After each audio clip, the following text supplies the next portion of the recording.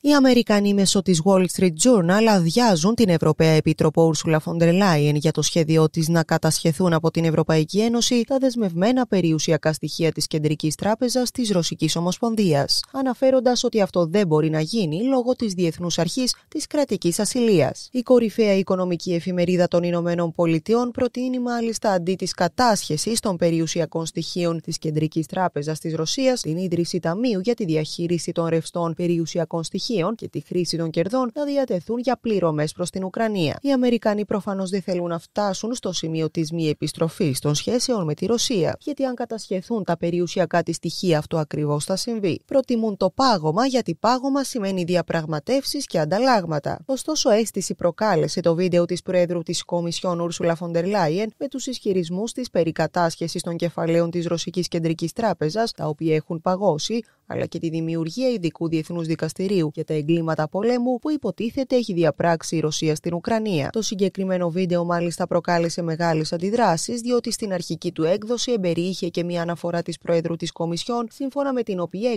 100.000 στρατιώτες της Ουκρανίας έχουν χάσει τη ζωή τους από την αρχή της σύγκρουσης. Το συγκεκριμένο απόσπασμα όμως αφαιρέθηκε από το επίσημο βίντεο που κυκλοφόρησε με τη γνωστή μέθοδο της κοπτοραπτικής.